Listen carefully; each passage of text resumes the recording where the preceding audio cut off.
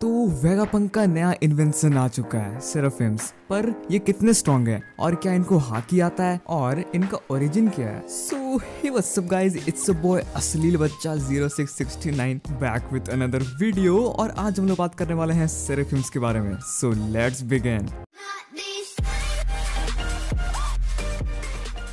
तो चलो शुरुआत से शुरू करते हैं। 24 साल पहले एक इलीगल साइंटिफिक रिसर्च टीम जो कि उस टाइम काफ़ी फ़ेमस था, जिसमें क्वीन सीजर क्लाउन विंसमोक जज और वेगा पंक था। Caesar smile devil fruit gigantification जिसमें वो बच्चों के ऊपर एक्सपेरिमेंट करता था और गैस वेपन्स पर वो काम करता था। दूसरी तरफ़ क्वीन वेपन्स और साइबॉर्ग में उसका पूरा एक्सपेरिमेंट रहता था और जज जेनेटिक मॉडिफिकेशन और क्लोनिंग पर वो फोकस करता था। और इसी बीच वेगा पंक का इन सब पर डायरेक्ट एक्सेस था। एंड जैसा कि हम लोग जानते हैं Vegapunk One Piece world का सबसे बेहतरीन साइंटिस्ट है और उसके टीममेट्स के नॉलेज और उसके खुद के क्रिएटिविटी के बल पर वो उनके क्रिएशन को और भी बेहतर बना सकता है। So unlike seraphims pure robots नहीं है। चैप्टर 1059 में जब बोआ का क्लोन अपने हाथों से लेजर बीम फायर करती है, उस वक्त उसके हाथ को ठीक से नहीं दिखाया गया था। सेम केस बिहॉक के साथ भी हुआ था। उनके एंगल को इस तरीके से ड्रॉ किया गया है ताकि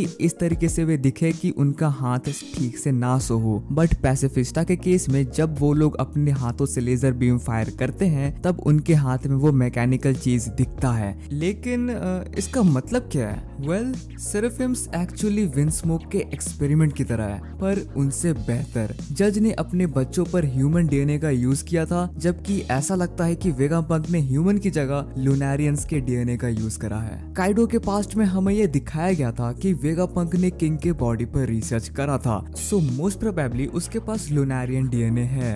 And as we know Lunarian one of the strongest जीव या फिर रेस है वन पीस में। एंड इन एडिशन पिछले वारलॉर्ड्स के जेनेटिक पोटेंशियल के साथ ये क्लोन्स और भी ज़्यादा स्ट्रॉन्ग हो जाते हैं। और इसीलिए ये बिल्कुल पॉसिबल है कि हाँ ये सेरेफिम्स एक्चुअल लिविंग बींग्स हैं। तो इन पे रोबोट्स वाला लिमिटेशन नहीं आता है। इसका मतलब इनको हाकी सिखाया जा सकता है या फिर इनको ऑलरेडी आता हो। क्योंकि हाकी एक नेचुरल चीज़ है। और हाकी को कोई भी कड़ी ट्रेनिंग कर कर अचीव कर सकता है सिवाय रोबोट्स के। हालाँकि, किंग्स हाकी या फिर कॉन्कर हाकी इन पे नहीं हो सकता क्योंकि वो गॉड गिफ्टेड होता है। एनीवेज सेरेफिम्स के इंट्रोडक्शन के साथ यहाँ पर दो और पॉसिबिलिटी आता है। काइडो के ऊपर भी रिसर्च हुआ था। वेगा पंक ने जब काइडो का डीएनए लिया था उसके डेविल फ्रूट को कॉपी करने के लिए तो क्या ऐसा हो सकता है कि वो उसके डीएनए के हेल्प से उसका भी एक क्लोन बनाया हो? यानी कि लुनारियंस और ओनी के डीएनए का मिक्सर ये चीज़ कितना स्ट्रॉन्ग होगा? और क्या विंसमुक जज ने भी अपने बच्चों के ऊपर लुनारियन डीएनए को डाला था और ये चीज़ सिर्फ़ सांझी पर काम किया? या फिर उसने सिर्फ़ सांझी के ऊपर इस चीज़ को टेस्ट करा था? ये चीज़ इसीलिए पॉसिबल है क्योंकि अब हमें ये मालूम है कि जज पहले वेगापंक के साथ काम कर चुका है। और अगर इनके पास सारे वॉलर्स का क्लोन है तो यानी बगी का भी होगा। और जिस तरीके से वर्ल्ड गवर्नमेंट बगी को इतना बड़ा थ्रेट मानती है, उस हिसाब से देखा जाए तो बगी को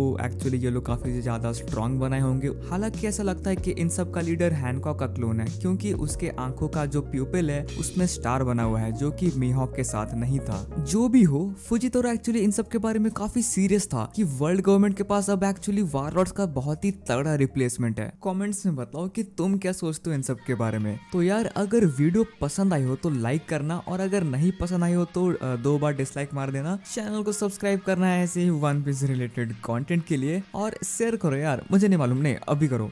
मिलते हैं किसी और वीडियो में।